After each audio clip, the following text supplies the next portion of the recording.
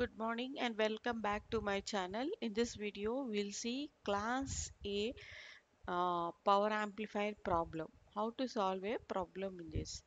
You know that class A amplifier conducts for 360 degrees.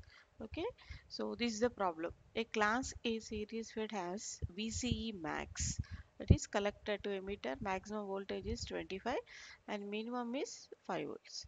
Similarly, IC max is 10 milliamps, IC min is 2 milliamps. Okay, these are the maximum and minimum values that are given that is VCEQ and ICQ. Okay, maximum. Then determine the RMS value of currents and voltages.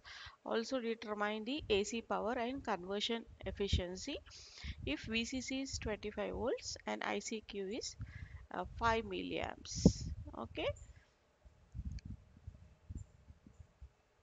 Now we'll see the solution. So we know that to get the efficiency, we now we have to note the input DC power consumed by the circuit. So D, uh, so that is nothing but VCC into ICQ. VCC how much you got? 25 volts. Okay. ICQ is 5 mil. It is given. So this much of input power you have given. Okay. That is VCC into IC. Now we have to calculate the AC power. So for that First we need to calculate VC RMS value. But VC RMS value is nothing but V peak to peak divided by 2 root 2. So V peak to peak, okay, uh, which is nothing but VC max minus VC min divided by 2 root 2 because peak values are given. So VC max and VC min. So this difference divided by 2 root 2. That is nothing but 25 25 minus 5 divided by 2 root 2 which is nothing but 7.7 volts. So vcq will be 7 7.7 volts. Okay?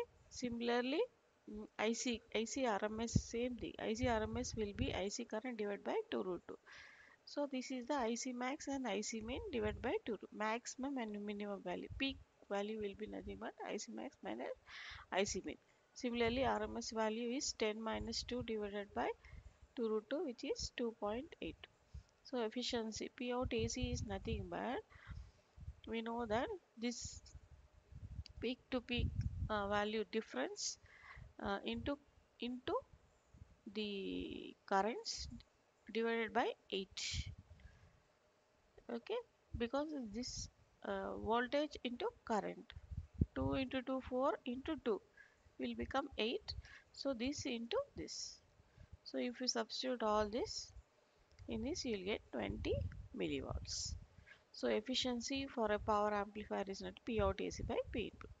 So P out you got 20 milli 20 milliwatts and PDC you got 150 so you'll get 16 percent. So this is less than 25 percent. Okay?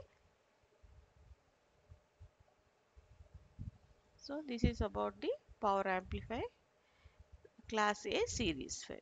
Okay, thank you. Please share, subscribe, and uh, comment. Thank you for watching.